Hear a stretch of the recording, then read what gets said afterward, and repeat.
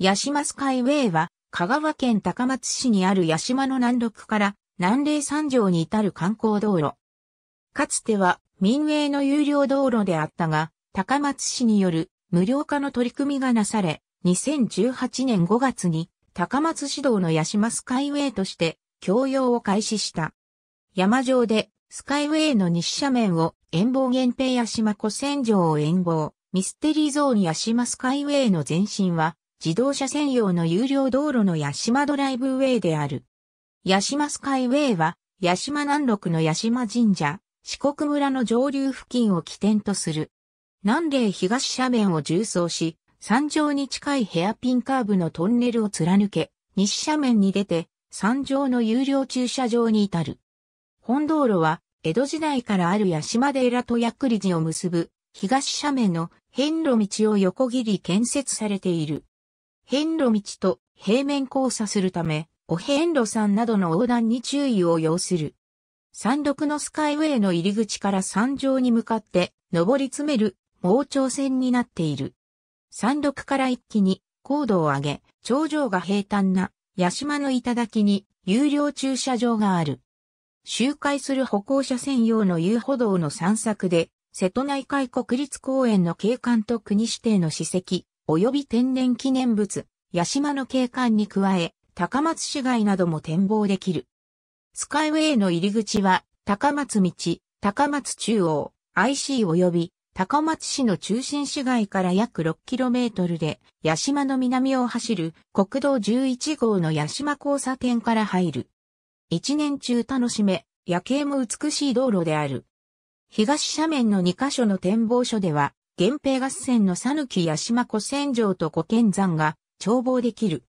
また、北北東の方向に、瀬戸内海国立公園の多島海の風景に加え、映画、世界の中心で愛を叫ぶのロケ地で、四国本島最北端の味城も一望できる。ヤシマスカイウェイは、日本の風景街道の源平ロマン街道に指定されている。源平ロマン街道は、八島三条海沿いの味半島道の駅、源平の里群れを結ぶ風景街道である。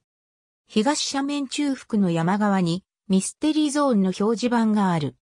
この場所の路面は上り坂が目の錯覚で下り坂に見えるとされている。これらは、八島ミステリー坂や、お化け坂、幽霊坂と呼ばれている。クリップ駐車場料金案内板、高松市八島三条観光駐車場の新入路の前面は自動車回転場である。新入路の正面に駐車場の入り口ゲートがあり、出口ゲートに自動生産機が設置されている。自転車の利用者は入り口ゲートの手前の左側に、自転車専用入り口原動機付き自転車は通行できませんの案内板があり、安全柵の間に専用入り口がある。歩行者は自転車専用入り口の前方15メートルほどの左側に歩行者専用入り口の案内板があり、安全柵の間に専用入り口がある。山上の自動車、自転車などの走行は許可申請を要する。観光道路の八島ドライブウェイは自動車専用の有料道路として1961年4月26日に供用を開始した。正式名称は八島自動車道である。観光客の増加と公衆の利便性の増進のため、道路工事費4億6198万円をかけ、八島ドライブウェイ株式会社が設置、運営した。道路延長は3664メートル、道路福井7メートル、起点標高は16メートル、終点標高は282メートル、山上の駐車場は1542平方メートルである。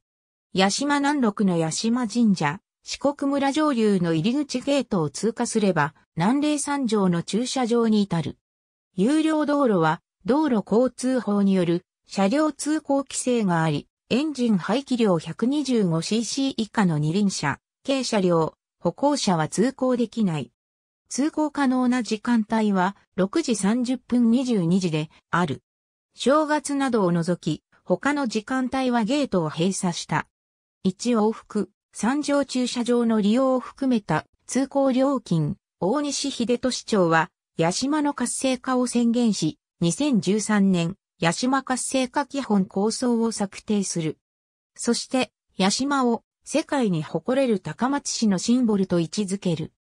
山上アクセスの利便性の改善が課題とされ、行楽シーズンの駐車場不足による道路の渋滞緩和策として、山上駐車場の拡充と、近傍エリア臨時駐車場の確保を実行すべき、具体的施策の一つとする。同年、八島活性化推進計画を策定し、主事の活性化策を展開する。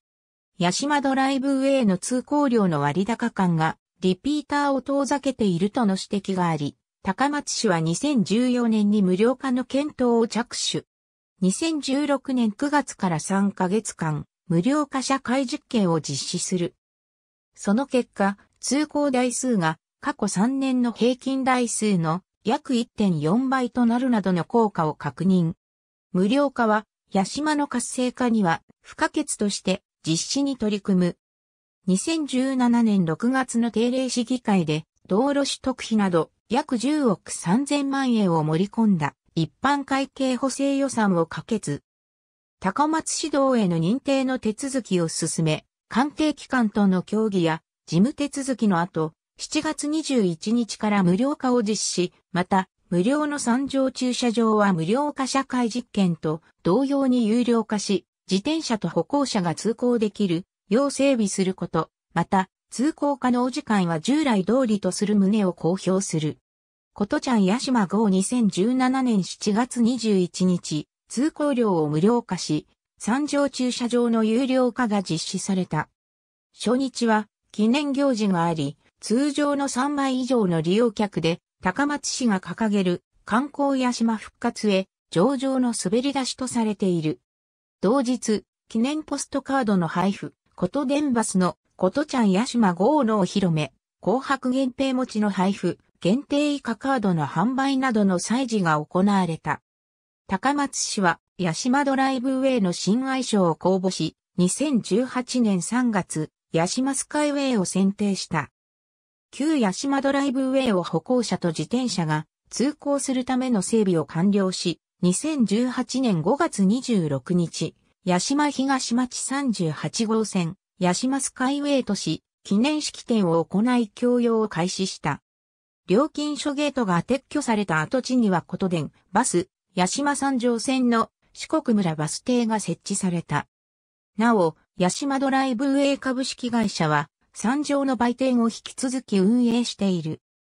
本店もふもとの料金所事務所から山上の店舗内に移転している。ありがとうございます。